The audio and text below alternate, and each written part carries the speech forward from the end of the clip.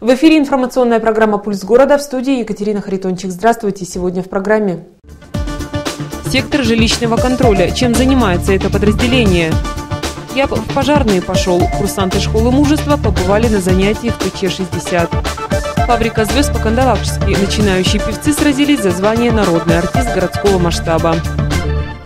С 1 апреля в администрации городского поселения начал работать новый отдел – сектор муниципального жилищного контроля. В сферу внимания этого подразделения попадут индивидуальные предприниматели, юридические и частные лица. Основные цели работы сектора – предупреждение, выявление и пресечение нарушений, связанных с федеральными и региональными законами в сфере жилищных отношений. Сотрудники отдела будут проводить проверку жалоб и нареканий от населения, юридических лиц и индивидуальных предпринимателей. Мы будем проверять э, правомерности принятия решений собственников многоквартирных домов по выбору управляющих организаций. Значит, второе направление у нас будет проверка на соответствие требований, предъявляемых э, к содержанию жилых помещений. Но здесь, в частности, жилые помещения будут только, которые находятся в найме. То есть, э, значит, и третье направление, на наш взгляд, самое важное – мы будем осуществлять проверку деятельности управляющих организаций по управлению многоквартирными домами, в том числе обслуживающих организаций, которые оказывают услуги у нас по содержанию и текущему ремонту общего имущества собственников многоквартирных домов. По фактам обращений и жалоб проведут проверки. При выявлении нарушений, которых, по словам специалистов, прогнозируется немало, будут выдаваться предписания с установленными сроками устранения недочетов. В случае неисполнения материалами проверки займутся уже региональные структуры. Если значит, предписания будут э, нарушителями не выполняться один или более двух раз, то тогда мы нарабатываем материал и направляем Государственную жилищную инспекцию Мурманской области для привлечения административной ответственности. Обслуживать сектор жилконтроля будет центральный и железнодорожный районы, а также район Нивы-3, то есть всю территорию Кандалакши. Кроме этого, его сотрудники будут проводить еженедельный личный прием граждан. Некогда популярное место отдыха горожан, дом офицеров, теперь пользуется дурной славой у работников пожарной охраны. В пустующее здание по сигналу тревоги огнеборцы выезжают регулярно. 2 апреля пожарные избивали там огонь на втором этаже. Еще одно происшествие зафиксировано и в минувшее воскресенье.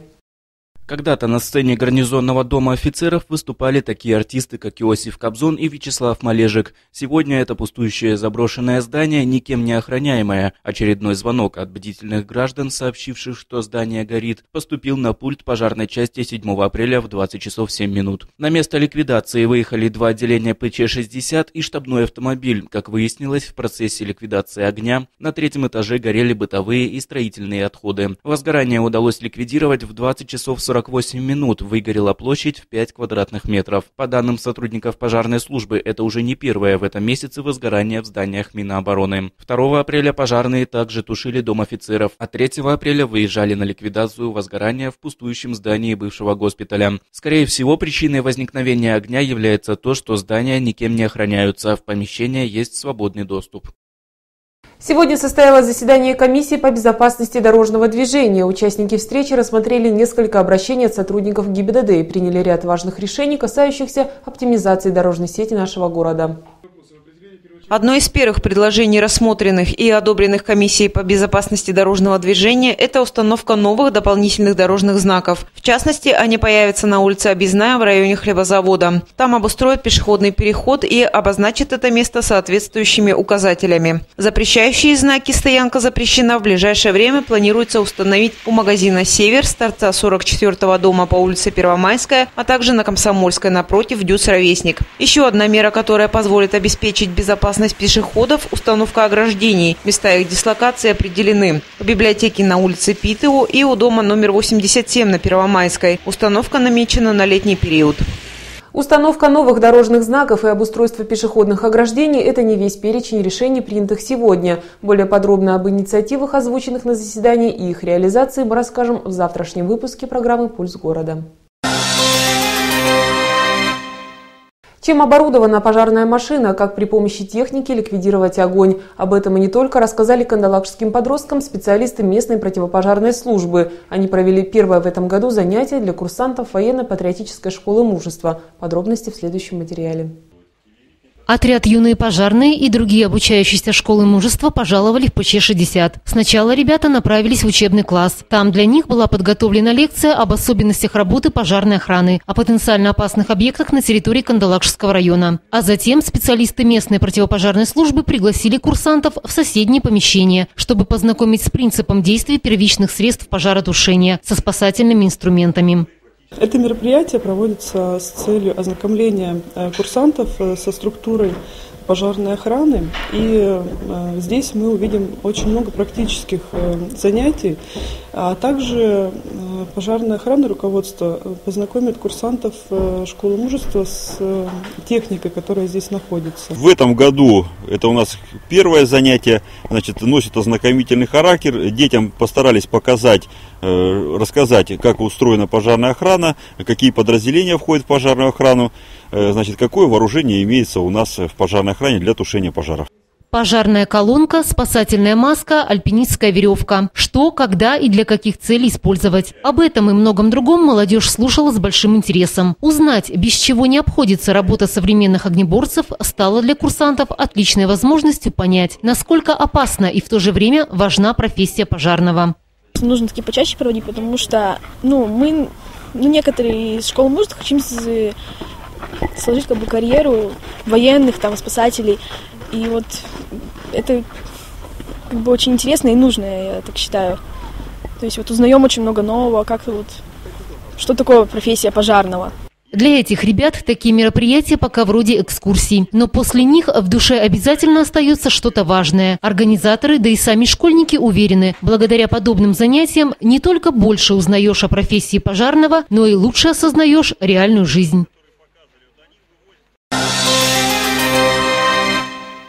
Кандалакшская весна потихоньку вступает в свои права, но лыжный сезон еще не завершен. Минувшие выходные отметили сразу несколькими соревнованиями. Самыми продолжительными стали гонки на кубок компании «Техномир». Они проводятся у нас ежегодно и собирают желающих со всего северо-западного региона. Лыжники, показавшие лучшие результаты, награждаются дипломами, денежными призами и кубками.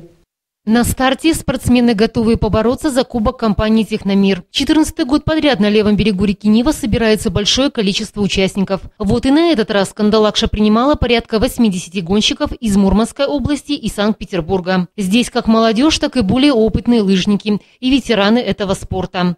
Соревнования прово- проводятся в этом формате два дня с целью, чтобы выявить лучшего гонщика в спринте и в мастарте. И главный приз – это кубок, который вручается и лучшей женщине, и лучшему мужчине по сумме двух дней. Такой марафон, конечно, для самых выносливых. Для мужчин 15 километров классическим стилем, женщинам поменьше, но еще и спринт 700 метров. Вслед за взрослыми в лидеры устремились юные участники соревнований. Особую целеустремленность показали девчонки. Я занимаюсь давно лыжами. Ко мне пришел папа за меня болеть. Я хочу выиграть соревнования. Сегодня за меня болеют мои родители. Я пришла на соревнования, чтобы поучаствовать. Мне очень нравится кататься. Как- когда ездишь очень хорошо и хочется занять какое-то призовое место. Итоги соревнований порадовали и в хорошем смысле удивили. В мужской гонке на третье место вышел кандалакшский школьник Павел Дерябин. Второе занял участник из «Полярных зорь» Александр Пашичев. Абсолютным чемпионом, обладателем Кубка компании «Техномир-2013» стал наш земляк, ныне живущий в северной столице Андрей Тютерев. Он показал лучший результат и в спринте, и в общем заезде. Среди женщин отличились Наталья Медведева и Кристина Петранцова. В спринте же победа досталась Анне Неустроевой из Ковдора, а чемпионкой была признана кандалакшанка Антонина Соболева. Чествованием победителей завершился третий общерайонный молодежный турнир по боулингу «Страйк». Участники и призеры и победители состязаний собрались 6 апреля в Каскад-парке.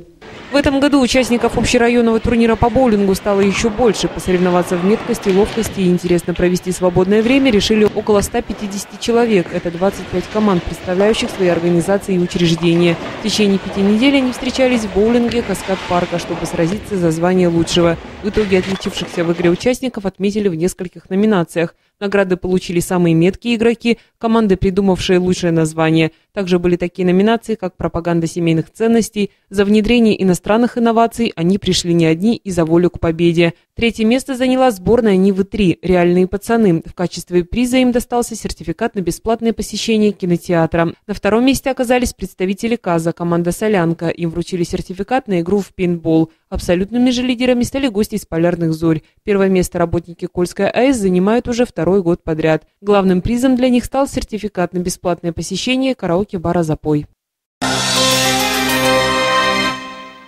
19 кандалакшан в минувшую субботу боролись за звание «Народный артист городского масштаба». В ДК «Металлург» состоялся конкурс исполнителей эстрадной песни. Причем на сцену выходили непрофессионалы. Как прошло мероприятие, кто стал обладателем высокого звания. Об этом в следующем материале. Школьники, студенты, медсестры, повара, парикмахеры, представители разных профессий на один день оказались в роли артистов. Кандалакшане стали участниками первого городского конкурса исполнителей эстрадной песни. Желающих продемонстрировать свой талант оказалось немало. Я, кстати, не думала, что у нас столько неоткрытых, неограненных алмазов в городе. Я почему-то думала, что ну максимум пять человек заявятся, те, которые хотят, захотят о себе заявить со сцены. Но нет, их 19 человек, и я очень рада, и действительно люди все очень талантливые.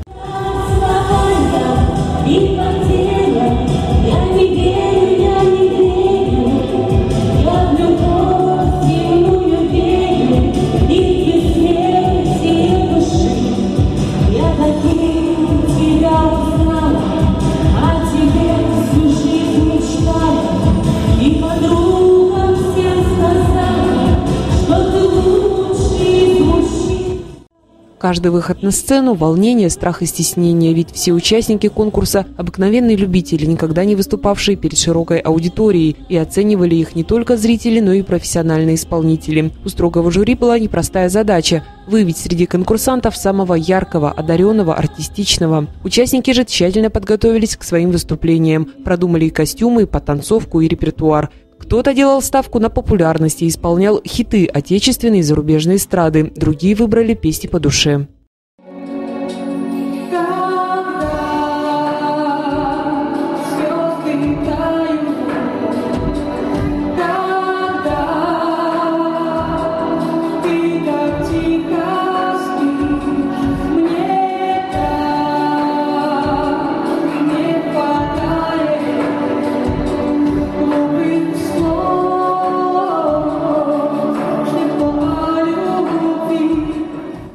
Эта песня одна из наших э, любимых с подругой. К сожалению, моей подруги нет в живых. И я посвятила эту песню ей. В итоге вокалисты-любители не оставили равнодушными никого, ни жюри, ни публику. Зрители провожали начинающих артистов со сцены аплодисментами, цветами и даже восторженными выкриками. А жюри определило тех, кто достоин носить звание «Народный артист городского масштаба». В возрастной категории от 17 до 20 лет лучшей оказалась Юлия Рыбакова. Маргарита Баканина заняла первое место среди участников в возрасте от 21 до 35 лет. Специальный приз от жюри получила Юлия Сикан. Гран-при конкурса было присуждено Андрею Жену. День, дай мне одну ночь, дай мне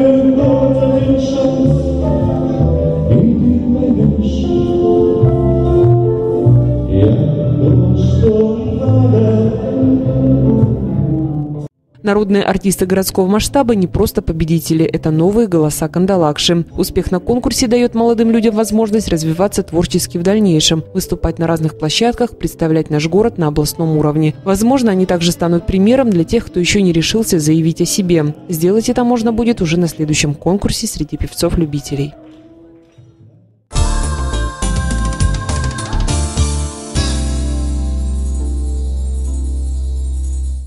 Далее прогноз погоды. Его представляет единая справочная по товарам и услугам 9.10.10. Сегодня ночью в городе по району будет облачно с прояснениями. Ветер северо-западный 2-3 метра в секунду. Температура воздуха минус 10, минус 16 градусов. Гололедица.